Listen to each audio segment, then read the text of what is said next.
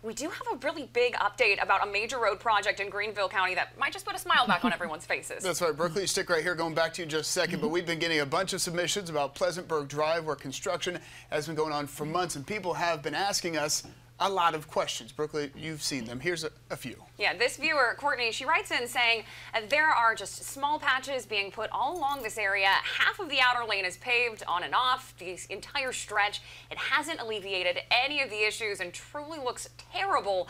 Are they going to finish this or is this the end result? Yeah, Louis kind of sums it up with just three words here. It says patch job terrible.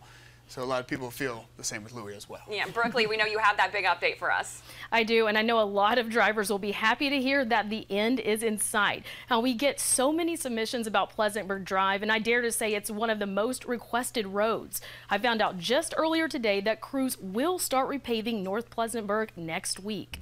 Now, I shot this video of North Pleasantburg just earlier today. You can see it still looks pretty patchy, and when construction started back in May, we started hearing from drivers about the rough rough road, asking if it's going to stay this way or if crews have other plans. Well, I can tell you it won't stay like this. Crews are just finishing up the first phase. They first had to patch the road before they could start repaving it. The project also includes adding new signs and constructing wheelchair ramps to make the road safer for pedestrians. Now, construction is expected to wrap up in the fall. And again, I know so many people are happy are going to be happy to hear this news. It's such a, a heavily traveled road.